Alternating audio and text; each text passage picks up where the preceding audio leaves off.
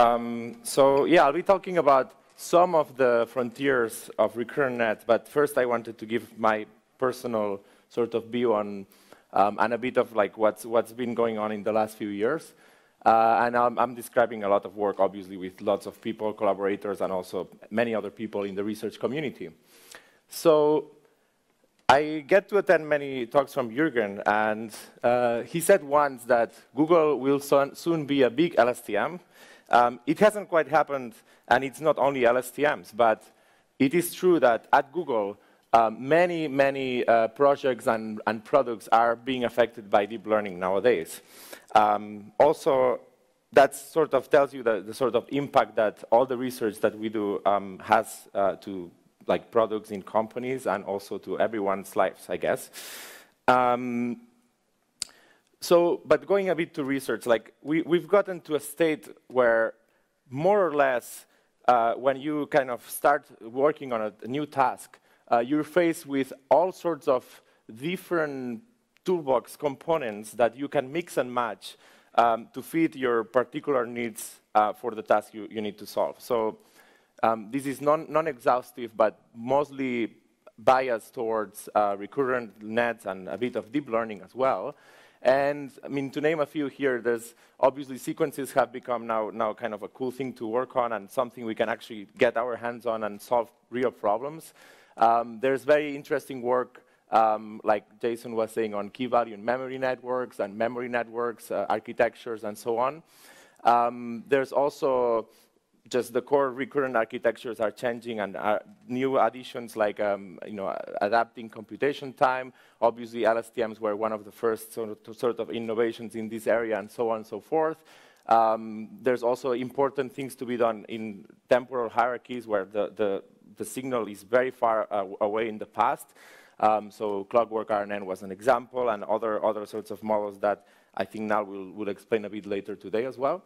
Um, but at the end of the day, um, what ends up happening is you kind of mix and match these sequence encoder, decoders, attention models, and so on. And what happened this year, amazingly, by, is that this actually is how Google Translate is operating um, at the user level, right? So, so some research that we did a couple years ago um, by work by, by uh, you know, Yonghui and Mike Schuster, who, who was around here showing um, some of this work and so on, managed to put this um, sort of neural architecture to, to drive um, a lot of traffic um, in Google Translate. And indeed, if you look a little more closely and in a, in a bit more technical sense, I'm not going to describe the model a lot, but you, you see like all sorts of components like encoder, decoders, attentions, and you know, your, your, favorite new models, new papers come up with, with sort of maybe some, sometimes they add something uh, new to, to the toolbox. Sometimes it's just using the toolbox in creative ways, and, and it's great the, the progress, we, the rate of progress we've seen in the last few years. Um, so the end result, though, was, was this, this really um, work done um, by us, also like Montreal, Stanford, and many, many other people that work on, on neural machine translation um, it, is, it is really indeed the, case that we are improving largely um, on, on traditional systems that did not use deep learning uh, so heavily as the end-to-end -end models that we're seeing nowadays.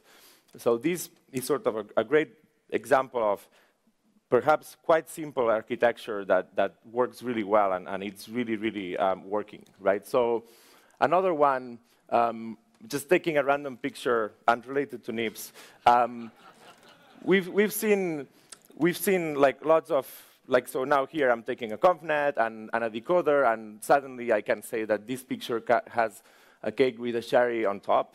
Um, and, and, and, but, but more recently, in fact, a couple of days ago, of course, on arXiv, a new paper came out uh, from, from Lu et al. that improves the results from state-of-the-art quite significantly. Uh, and this model has all sorts of attention and it decides when to look, where to look, and so on. It's, it's really cool. I, I recommend you, like, to, if you have time, to, to scout arXiv for new papers um, as much as you can.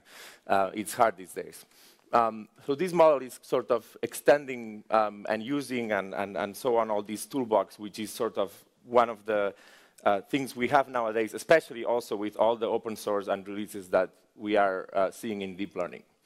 And then the last example, which, which deal, dealt with, surprisingly to me, long sequences, um, namely tens of thousands, um, generating directly raw waveforms, uh, which perform as well um, or better than state-of-the-art, in fact. Um, so these also will be probably shown later today. So is, is it, are we done? Is sequence to sequence or you know, all these models, like, do they solve supervised learning? And actually, I, I don't think so. I, I, think we've seen great progress on, on certain areas, for sure. Um, I think natural language processing is probably, we've seen like all these like machine translation, parsing results and so on, but understanding, it's, it's unclear to me that we've gotten to a point where we can claim we understand language.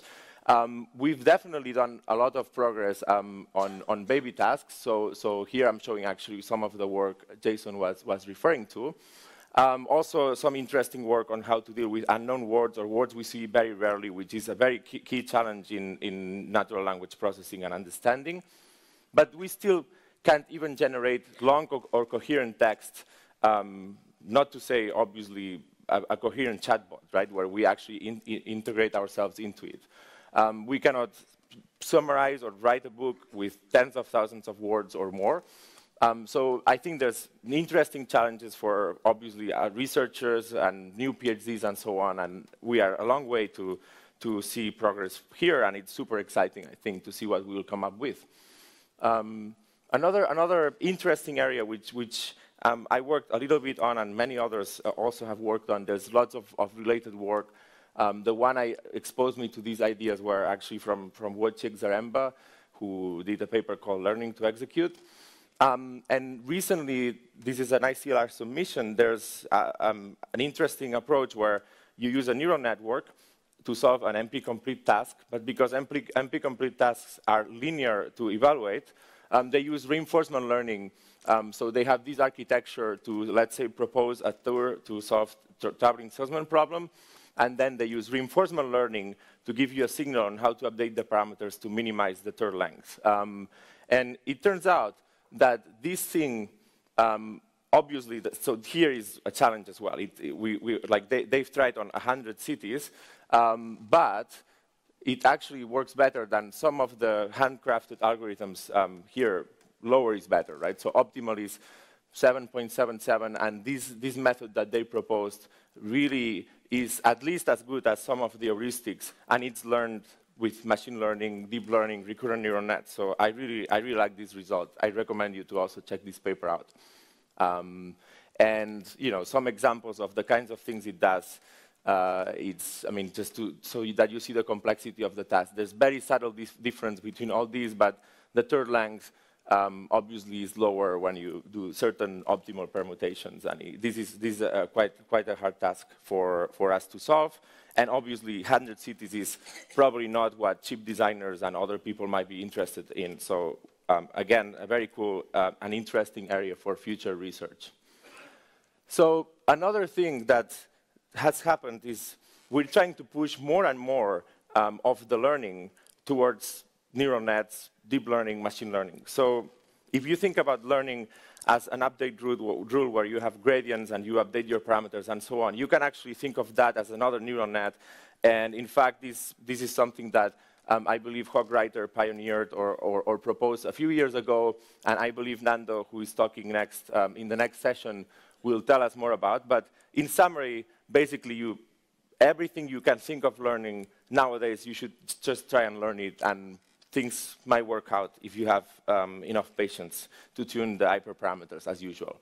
Um, so this is a pretty nice trend.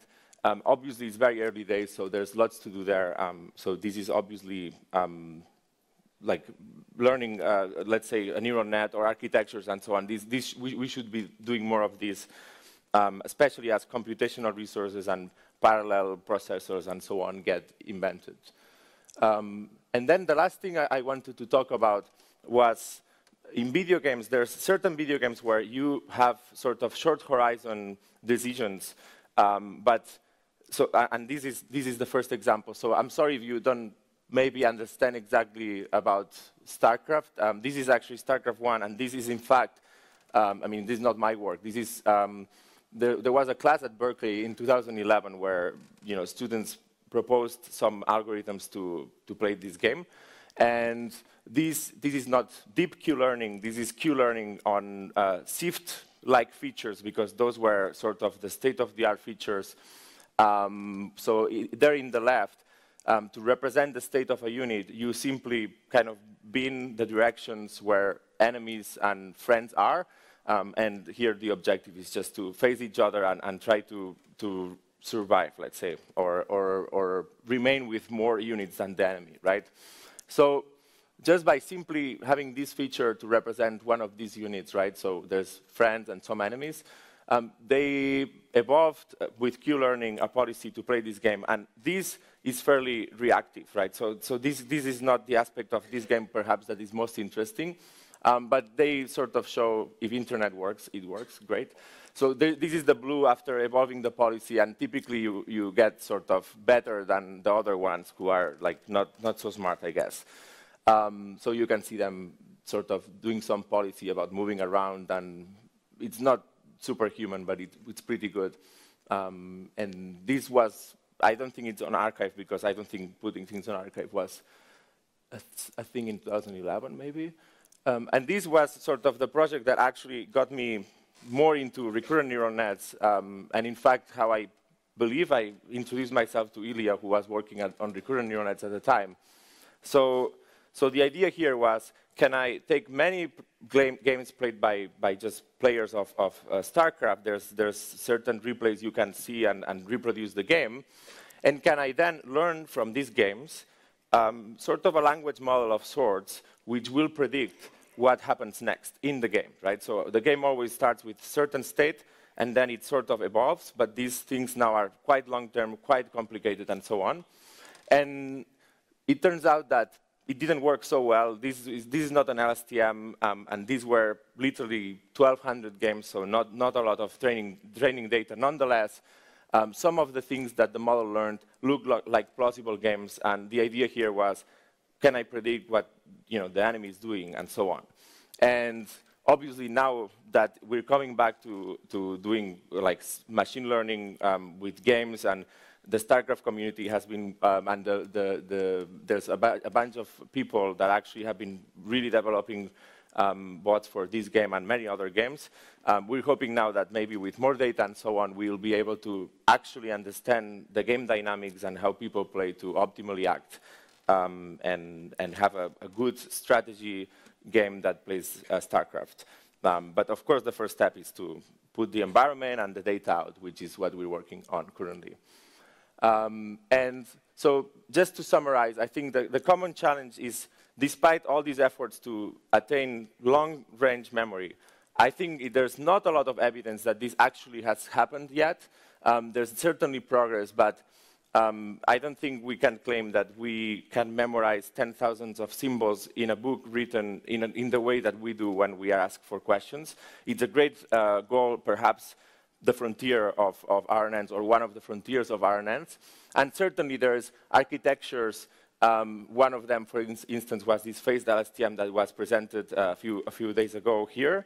Um, and all sorts of other techniques to make sure we fight vanishing gradients and we have architectures that, that are able to integrate information over long time, time spans that may um, lead us there.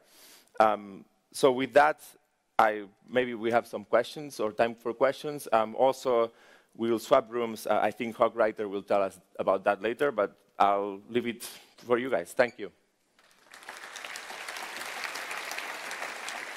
Thank you. Uh, thank you. Uh, perhaps before we go to questions, I have an announcement uh, to make. We move at 4.30 we start again, we move to area 3. Remember, recurrent neural networks, area 3, it's downstairs. You have to move downstairs for the next session. Area 3. Uh, but are there questions for Oriol? Somewhere there.